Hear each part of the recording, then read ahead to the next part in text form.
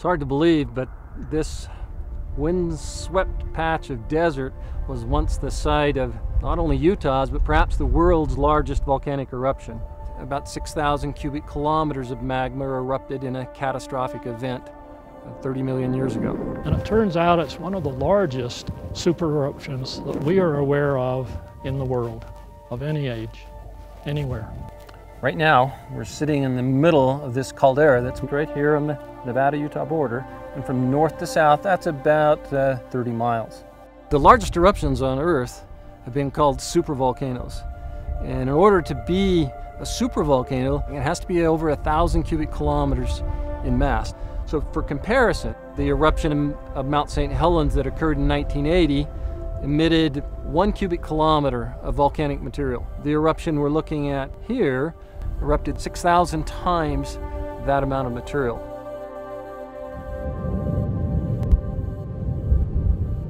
Most people, when they think of a volcano, think of a conical edifice with a single vent.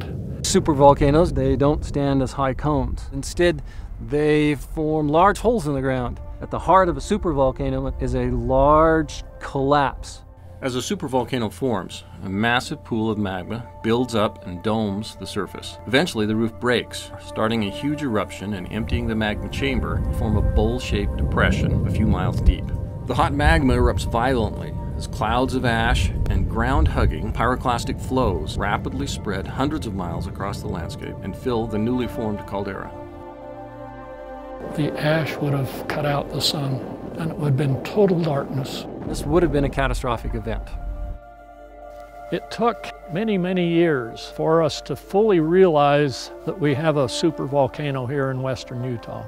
And it took so long because remnants of this caldera were found in five mountain ranges. For years, we'd been looking for the source of this very widespread pyroclastic deposit It's so old that it's been completely eroded, completely obliterated. So the only way that we know that it is here is by looking at the rocks.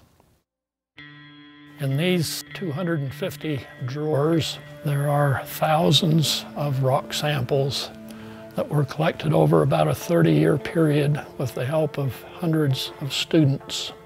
The basis of all our work, of course, is, is in the field, but a lot of the time is actually spent in the lab. Uh, many hours are spent at a microscope trying to find out the details of the minerals. Many other hours are spent with analytical instruments to find out the composition of the grains and of the rocks. As we accumulated the data and verified the aerial extent of the Wah Wah Springs, we found that indeed it was a super eruption from a supervolcano. In the news, you may have heard of other supervolcanoes. Some of them are still active and still churning away. Uh, the Yellowstone caldera is a supervolcano, and it's still an active system. If this is one of Earth's largest supervolcanoes, do the people in western Utah need to worry about an eruption here as well? And the answer is no. The tectonic setting is different. The caldera has been ripped apart. This volcano erupted 30 million years ago. And there's no threat of that style of a large super eruption here in western Utah today. One of the things that geologists are always trying to piece together is the history of the Earth. And the history of the Earth has been punctuated by catastrophic events. Identifying one of those that occurred here in western Utah will help us piece together this long chain of events that are part of Earth's history.